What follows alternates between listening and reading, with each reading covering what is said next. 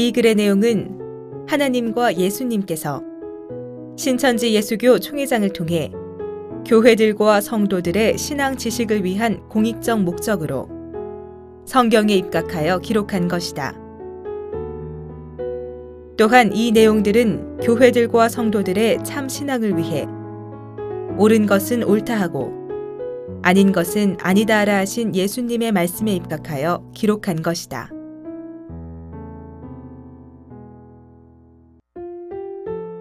십자가와 그 목적 본문 요한복음 12장 32절 34절 요한복음 13장 18절 하나님의 아들 예수께서 십자가를 지셔야 할 이유는 무엇인가? 예수께서 들림은 모든 사람들을 자기 앞으로 오게 함이라 하셨다. 뿐만 아니라 예수님은 기도하실 때 내 아버지여 만일 할만하시거든 이 잔을 내게서 지나가게 하옵소서. 그러나 나의 원대로 마옵시고 아버지의 원대로 하옵소서 라고 하셨다. 예수께서 꼭 십자가를 지셔야 하는 이유는 히브리서 10장에 기록이 되어 있다. 즉, 황소와 염소의 피로는 사람의 죄를 없게 할 수가 없고, 죄 없는 예수님의 피로만 인류의 죄를 사할 수 있기에 십자가를 지신 것이다. 십자가는 죄인이 지는 최고의 형벌이다. 예수님이 십자가를 지신 것은 자기의 죄로 인함이 아니요. 인류의 죄를 대신 지신 것이다. 우리가 선행을 하고 충성을 다한다 할지라도 우리의 죄는 영원히 있을 것이나 예수님의 피로 우리 죄를 사하신즉 우리가 주 안에서 죄 사함을 받아 죄 없는 자가 된다. 이러므로 주께서 죄에서 우리를 해방시켜 주시고 나라와 제사장으로 삼으신다고 계시록 1장 6절에 말씀하셨다. 예수님은 6월절 밤 제자들과 피로 새 언약을 세우셨다.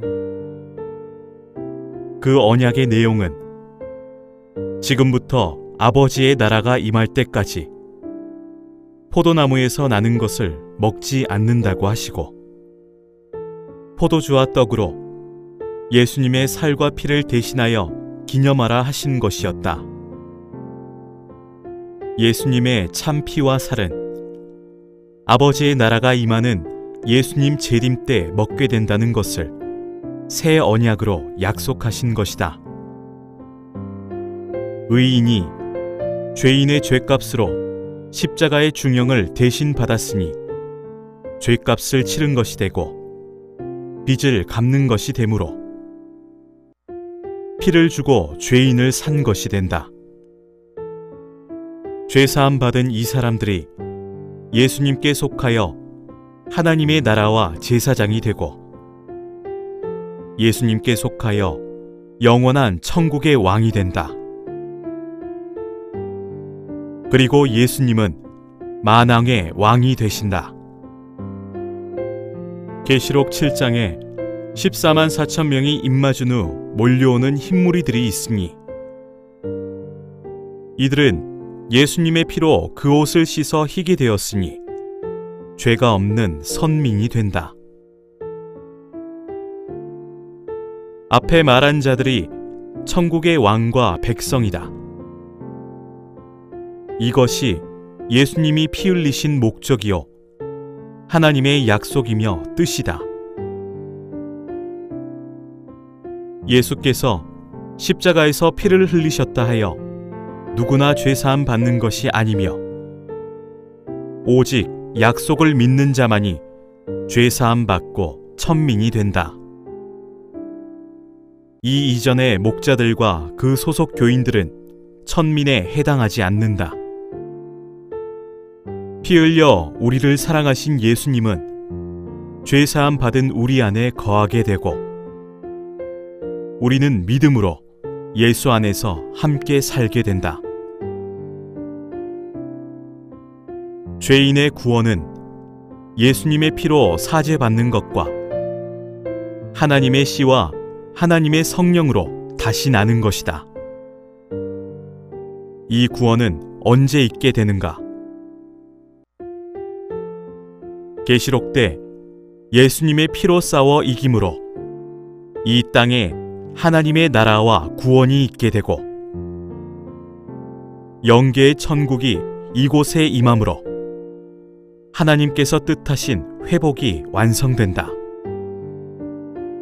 이는 잃었던 아담의 세계가 부활된 것이다.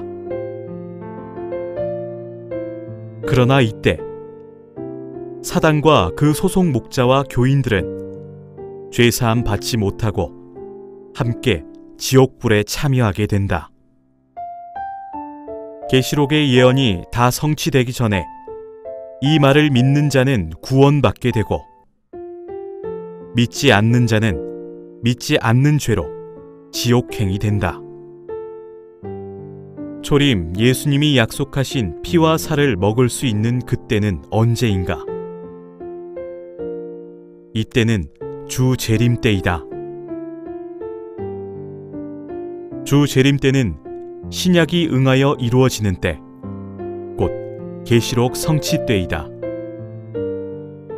신약 사복음서에서 예수님의 피로 죄 사함을 받는 것을 보지 못했으나 주 재림 때, 곧 계시록 성취 때 그 피로 싸워 승리했고 그 피로 죄 사함 받아 나라와 제사장과 흰무리가 되게 하셨다.